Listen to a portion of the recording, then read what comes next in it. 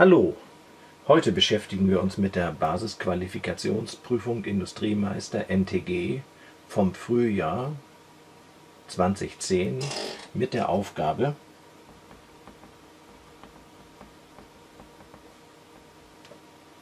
vier. Bei der Aufgabe 4 geht es darum, dass ein Kran einen Motor ausbauen soll. Der Motor wiegt 125 Kilogramm. Er wird innerhalb von 0,3 Minuten auf eine Höhe von 5,5 Meter gleichmäßig angehoben. Die Verluste des gesamten Systems, mechanisch und elektrisch, betragen 12 Prozent.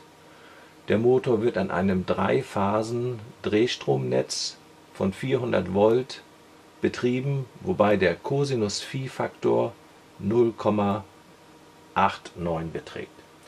Bevor wir gegeben und gesucht aufschreiben,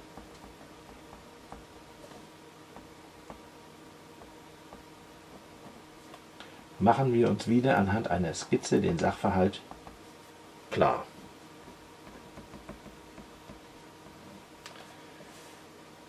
Also an einer Winde wird ein Motor ausgebaut. Dieser Motor hat eine Masse von 125 Kilogramm. Wir können sofort umsetzen und sagen, die Masse hat immer eine Gewichtskraft und diese Gewichtskraft beträgt m mal g gleich 125 Kilogramm mal 9,81 Meter pro Sekunde Quadrat. Ja, wieder mit ungefähr 10 gerechnet, ergibt sich daraus eine Kraft von 1250 Newton. Das ist unser FG. Gut, das ist erstmal die erste Zwischengröße.